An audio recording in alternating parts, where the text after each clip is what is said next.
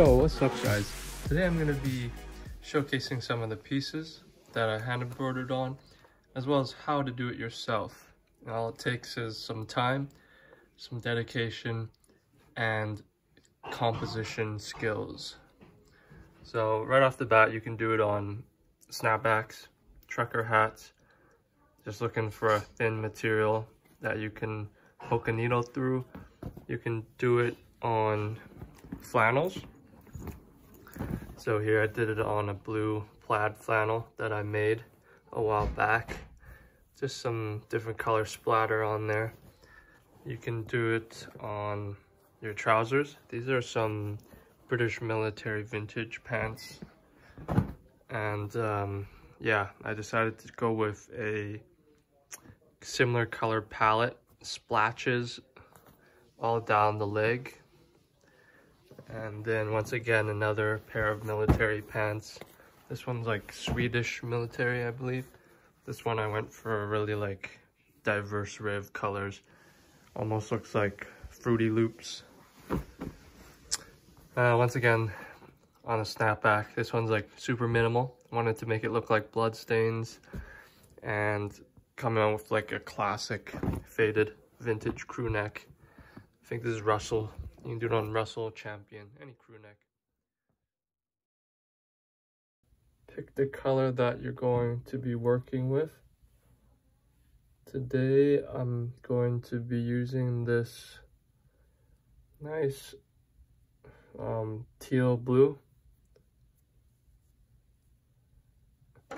And then I will cut it up however much I want to use. There's a bit about six individual strings in here. What you're going to want to do is split it in half, giving you three and three, each three strings. Put one to the side and save it for later. With this one, we're going to thread it through the needle here. Whew. Finally, we did it, boys and gals. And then at the end here, all you gotta do is tie a little knot. So I'll show you like this. You wanna save as much thread as possible. So, boom, we have a knot. And you can cut the end, not too close to the knot.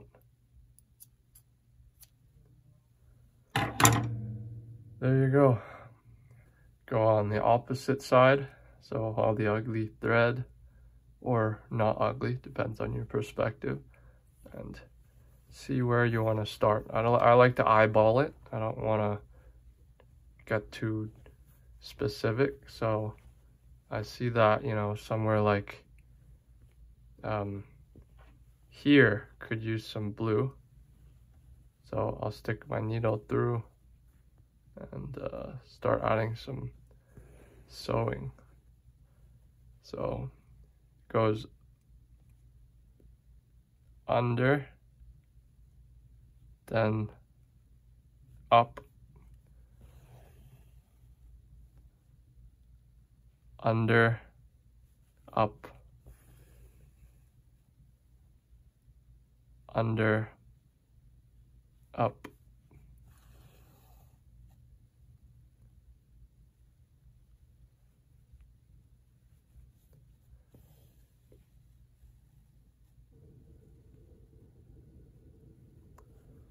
I found that I put the spacing too wide there, so I'm going back in and filling in some areas that um, are too wide, too loose.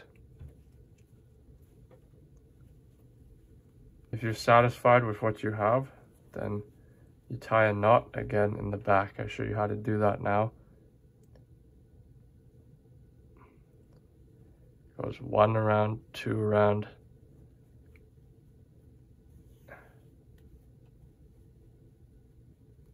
There you have it, a knot.